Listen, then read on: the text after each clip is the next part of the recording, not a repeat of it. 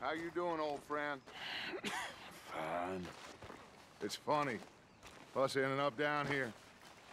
My daddy died in a field in Pennsylvania, fighting this lot. I ever tell you that? Many times. I see I'm boring you, Arthur. Worrying me. We lost men back there. We have lofty goals, Arthur. We're trying to reform society to a kinder, truer, better way. Now, of course, there's gonna be casualties. We're thieves. In a world that don't want us no more. We are dreamers in an ever duller world of facts. Now, I'll give you that, but come on. We got the day. It's nice out. Old Hosea says that there's a creek around here. I reckon it's full of fish.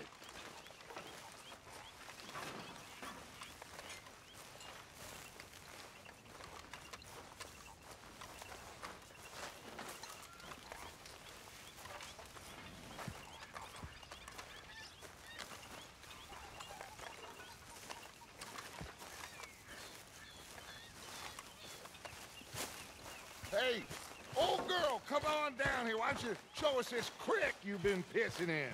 Hey, you don't look too rosy, old friend. I thought this warmer weather would... My days are looking good along over Dutch. Always dream crushing and bubble bursting, you. Come on, Hosea. Let's go fishing. Come on, then.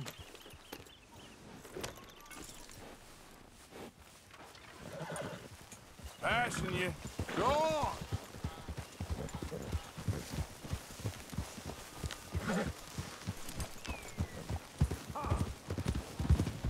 Why don't we just fish here? There's a whole lake of them. Because I need to get out for a bit. Me and the old guard. Before any of them back there, oh, there was us. The curious couple and their unruly son. It feels good here. You did well finding that spot, Arthur. More Charles than me. It's like I can breathe again, thick and soupy as this air is. Might even do your whistling pipes some good, Hosea. I was once in this country with Bessie. Ah, feels like a lifetime ago. It was a lifetime ago. But what a life we have lived, how well we have fought, especially both of you. I hope so. But now, when things are desperate, we have to stick with the plan. Make enough money, then find somewhere where nobody will find us. But we don't have to hide. Uh, like where? I got some ideas hatching, but I need you with me, not against me. Both of you. Of course. Still, we do need money. So keep a low profile, especially in the local town. After Valentine, I want everyone on best behavior here. No trouble.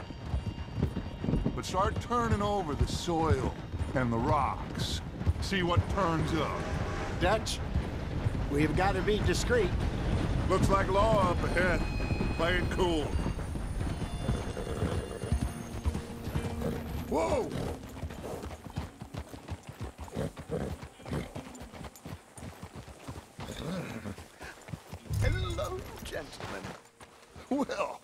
Look what the cat drug in.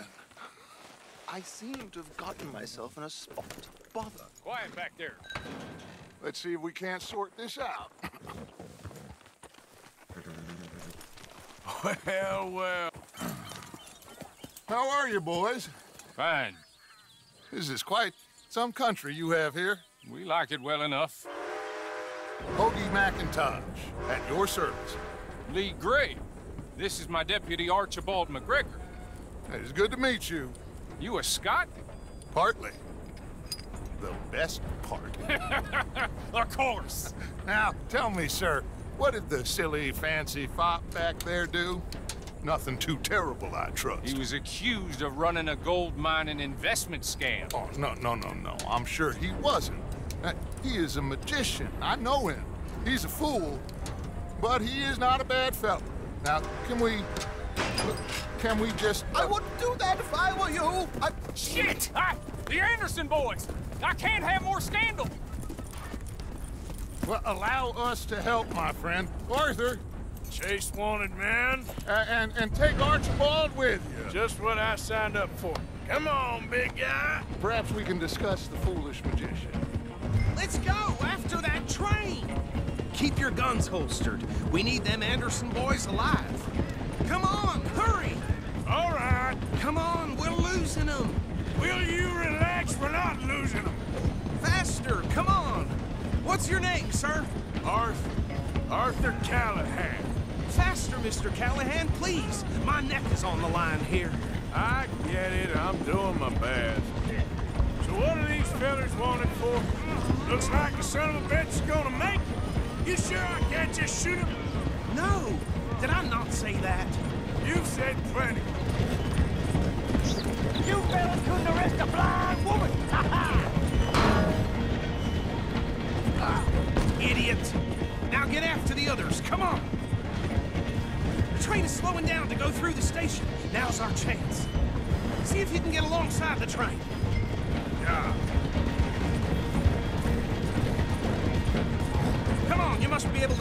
To it. See the flat carriage? Head for that. Get us as close as you can.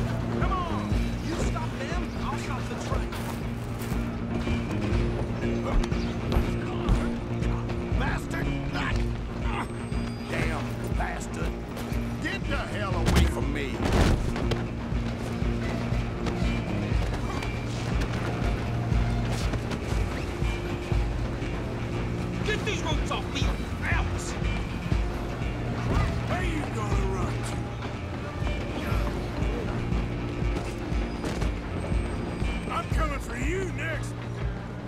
I'm gonna ride ahead and stop the train. It's just us then, lawman. Come here. Do we need to bother? Let me go. Can't do that.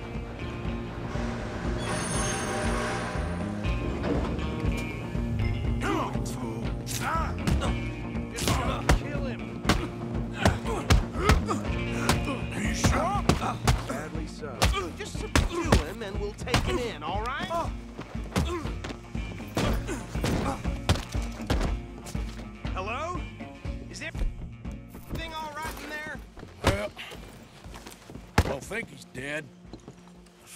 Fight. Ah, just about.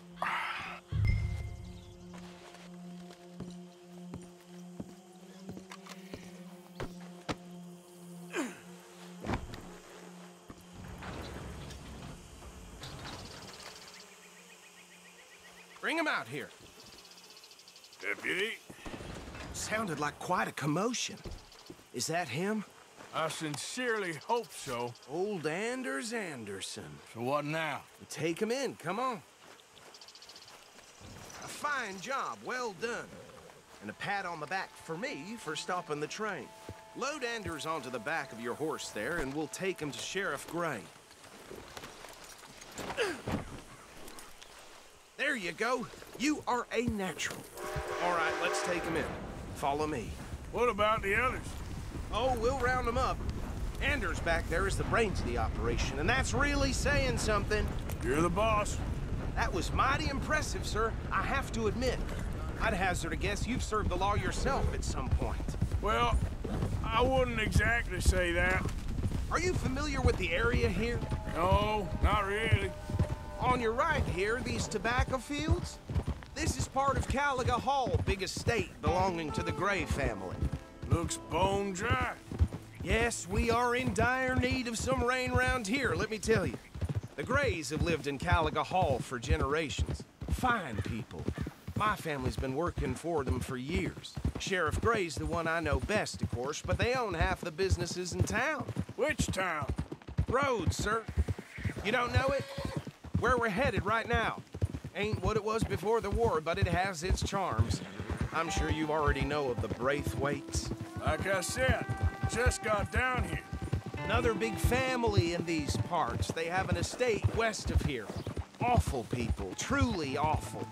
They've been fighting with the Grays for as long as I can remember. Sounds like quite the place you got here. Here we are. Welcome to Rhodes. Up there on your left is the Rhodes Parlor House. Very reputable saloon owned by the Gray family. We also have a general store, gunsmith, post office, train station, of course. What more do you need? Very little. Oh, good, they're back.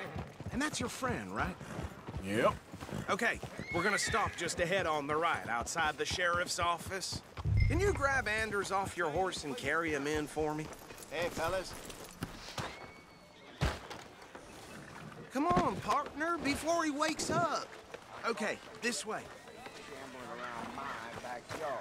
Mr. Gray! We got him. Very good. I told you Arthur would deliver. Man has a passion for justice. That's wonderful. So, uh, about my friend here, Your idiot friend is free to go. But no more trouble from you, partner. I promise you, this was all just a big misunderstanding. However, I want to thank you from the bottom of my heart. I'll pretend to appreciate that. Mr. McIntosh, it has been a real pleasure. The mostly good citizens of Rhodes, we welcome you. well, we're just honored to be here. And make your friend behave. We got enough trouble from some of the residents, old timers who've gone sadly to seed and lost their dignity. How terrible. Come along now. I will keep this fellow on the straight and narrow. Uh, come back and see us sometime soon. Excuse me, gentlemen. Uh, Beau, these better be ugly rumors. Is it true you were seen talking to that wretched Penelope Braithwaite? I can't thank you enough. Where have you been? Around, And where are you staying? I'm renting a caravan on the edge of town behind the church. It's horrible, but no one comes looking. The whole town is trapped in this interminable feud between the two families.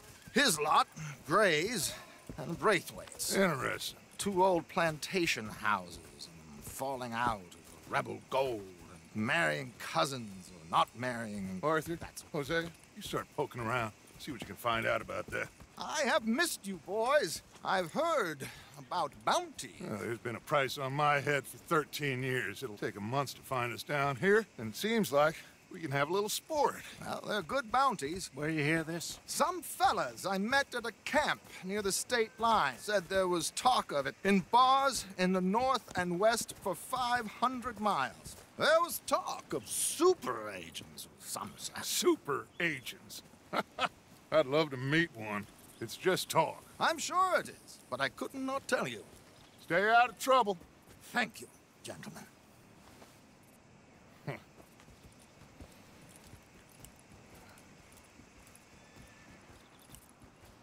Okay, so these two plantation families.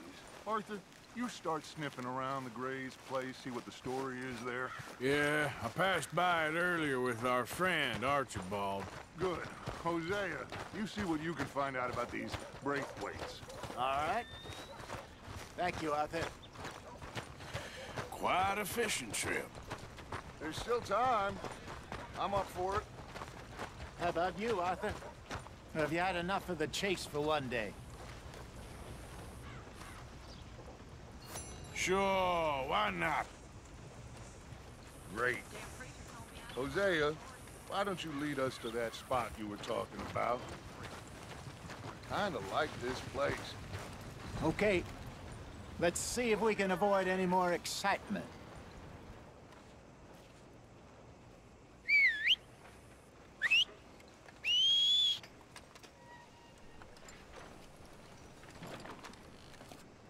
How do you do, sir? come on.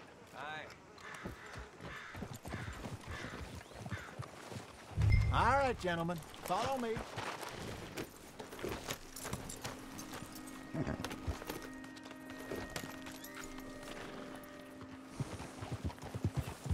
Coming through. Oh. So how far is this creek? It's a bit of a ride still, and it's not a creek. It's the same lake we camped on, just a different part. It'll be worth it. I saw some big drum and sturgeon there. Should be rock bass, bluegills, perch, pickerel too. It's a good spot.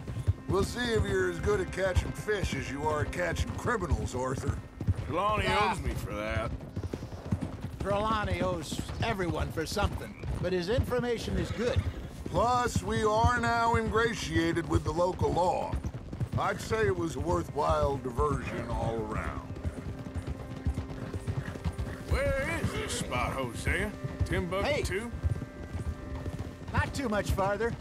Anyway, you two never told me properly about that business with Cornwall in Valentine. What happened there? Apart from scaring the living daylights out of Mr. Strauss. That was about the only upside. John and I didn't even have time to get paid for the sheep we rustled. It is safe to say Mr. Cornwall isn't a man to let bygones be bygones. Ambushed us in the saloon. He came with a lot of guards and what seemed like just about every lawman in the county. We've had closer shaves, but not that many. And if Cornwall found us, the Pinkertons couldn't have been far behind. They found me when I was fishing with Jack, remember? Listen, it was good we moved when we did, but that mess is behind us now. Yes. Jack told me you were a good teacher when you took him fishing. I said he must have you confused with someone else.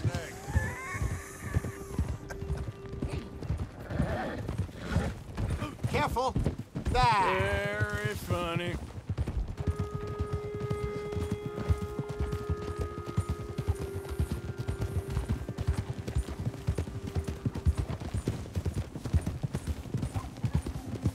This is the spot.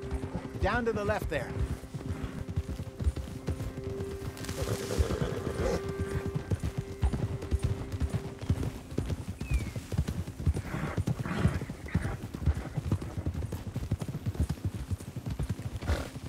Saw some boats around last time. Be good to get to deeper water. Yes, over there on the shore. I'm sure nobody would mind if we borrowed one of these. Come on.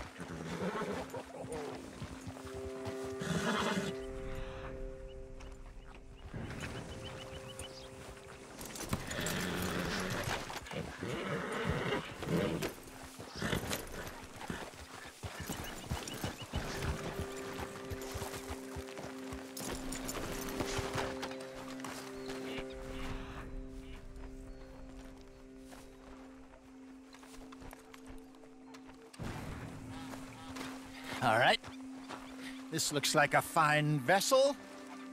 Okay. Come on, Arthur. Let's get her in the water. Oh, I got a good feeling about fishing here. There's supposed to be some incredible sturgeon. Oh, Okay, here we go.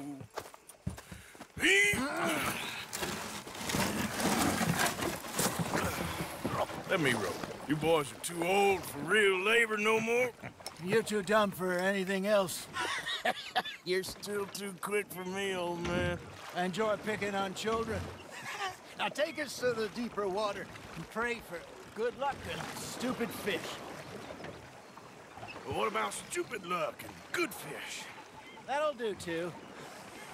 Keep going.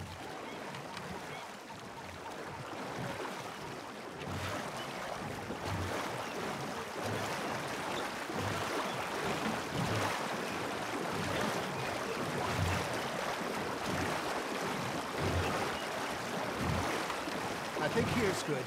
All right. Good luck, gentlemen.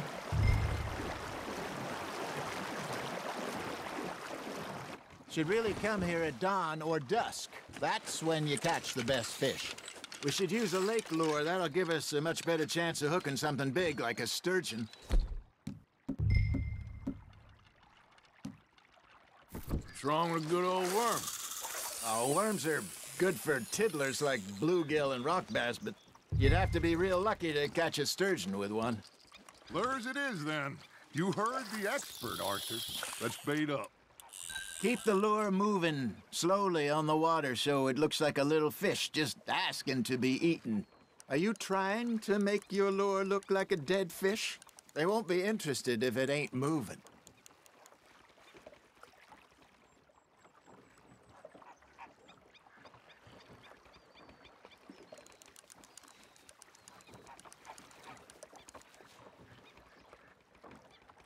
Maybe if you caught a fish, we'd stop teasing you.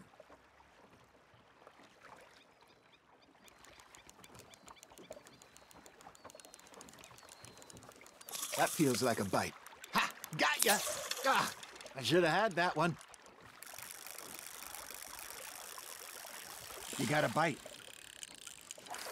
You got a bite there, Arthur.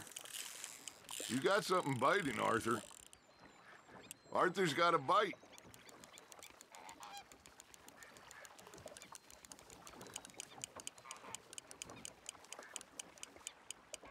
Arthur, you have to catch one at least.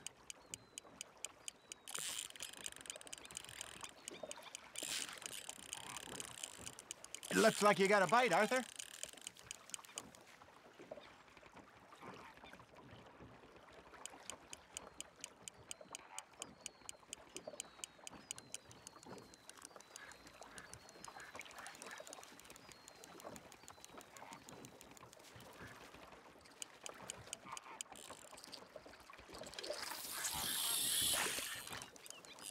Okay, that was a bite. There we go. There he is. Damn it, I lost him. Come on, Arthur. You can't go back empty-handed. All right, all right. Ain't a race.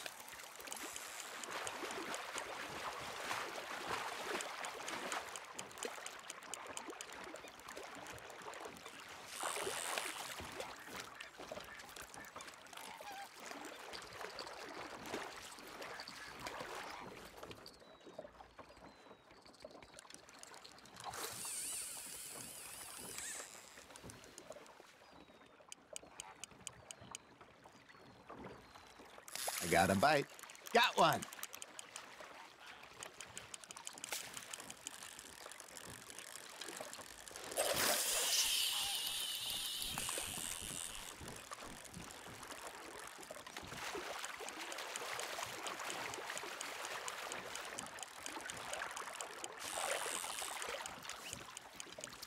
Got a nibble there, Arthur.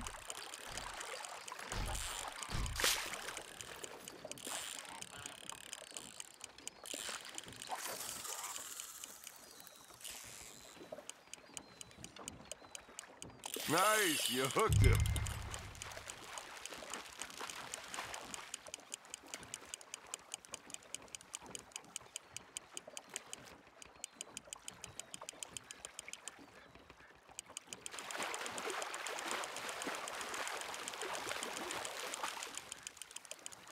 Hey, look at this beauty. There you go. Well done, Arthur. They can grow a lot bigger than that.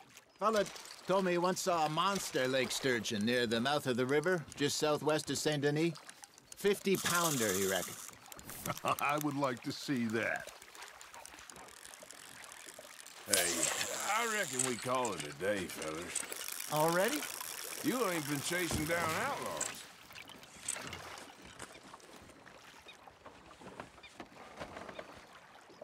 All right. Think we got a decent haul here. Pearson will be happy.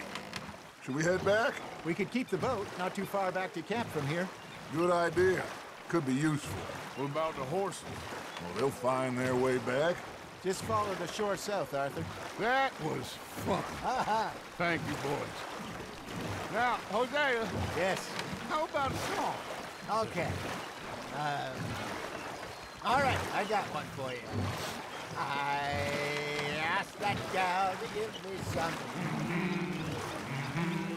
I asked that gal to give me some. She says, wait till the taters is done. I couldn't wait till the taters was done. I couldn't wait till the taters was done. Threw her on the floor and knocked off some. I wish that God I'd passed her by. I wish to God I'd passed her by. Taters got burned and so did I. That was that was pretty good. But you know, what song we should be singing? What? Well, look at us. Three mariners. Ah, of course. Well, we three poor mariners newly come from the seas. Spend our lives in jeopardy while others live at ease. Shall we go dance this round, around, around? Shall we go dance this round, around, around? And he that is a bully boy, come pledge me on this ground, ground, ground, ground. We care not for the martial men that do our states disdain, but we care for the merchant men that do our states maintain. To them we dance this round, around, around. To them we dance this round, around, around. And he that is a bully boy, come pledge me on this ground, ground, ground, uh, ground, uh, ground, uh, ground. Oh, bravo! Bravo! Well, you know, we should not let the folks back get too much. Indeed not.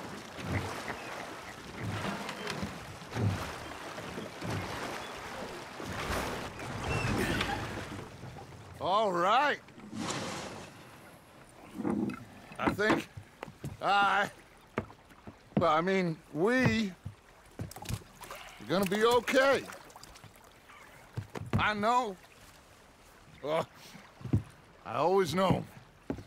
Whenever I got you two by my side, things are gonna be just fine.